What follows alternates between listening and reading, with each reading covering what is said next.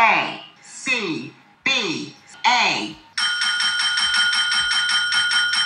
Yes, sir. We officially back at it. Boog Nice coming at you with a quick update. Just want to touch base with you guys, chop it up for a moment. Been a pretty busy week for me, not in terms of putting up videos, but I did a lot of comic book reading this week. It felt really good to read a bunch of comics. I'll get into what I read, but just kind of looking over this display. I was on the table for quite a bit this week, doing a lot of displaying and taking a lot of pictures and doing stuff that I didn't really show too much. I guess I'll start showing that stuff here now at the end of the week, but I finally did open my amazing Yamaguchi Revoltech cable figure. I don't see a lot of people pairing their cable with the Revoltech Deadpool, so that's what I did here, and um, I broke out the parts that I had to my old Toy Biz Build-A-Figure Apocalypse because I'm actually going to be getting the last two parts that I need to complete this Build-A-Figure for like the second time, or maybe the third time. I actually think I had both versions back in the day. I had the black version and the regular regular blue version here. But in this picture, he is actually missing his left arm and left leg. I just kind of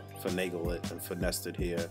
if you look closely, uh, that gun on his left arm is the gun that came with the uh, old uh, Marvel Legends Crossbones figure. I think it was the uh, Thunderbolts version. But yeah, I've got Cable and Deadpool under fire here from Apocalypse, working on my man Ron's diorama from Lawless Studio. A couple cutouts here. This was actually one of the cutouts from the Mercenary pack, the Deadpool pack that came out, I guess, last year sometime. Yeah, it just looks like they're they're under fire here. Cable shooting around the corner, no look shot. Just something real clean, cropped and contained. Just kind of flexing my muscles, just practicing a little bit. And then I went ahead and kept this same set and finally opened my uh, Cosmic Ghost Rider. Actually, I've been opened it, but I hadn't done any displays with him yet. And shout out to my man Swift who bought me a few of the uh, Cobra Troopers this week that he had ordered for me a while back, and we were chopping it up for a brief moment, and he said that I should read Silver Surfer Black, and I did go back and actually check that out, and then that just got me on a tear, and I ended up going back to check out the uh, 2016 Thanos story, those 12 issues, I believe, and then I went back and checked out Guardians of the Galaxy because one of those issues had tied into that. I was trying to find out what was going on here with Cosmic Ghost Rider and Thanos.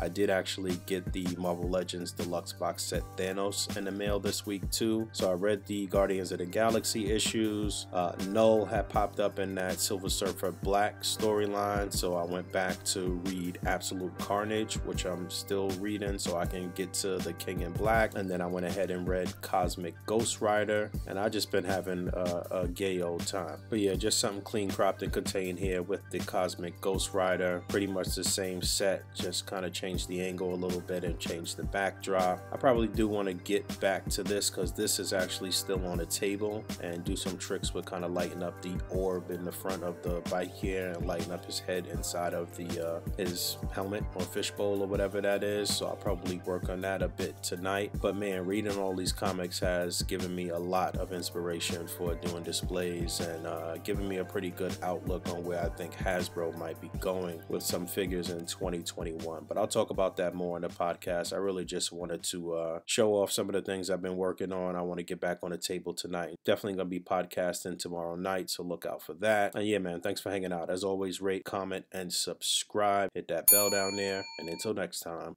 Peace. Laugh now, cry later. I rhyme greater than the average player hater and spectators.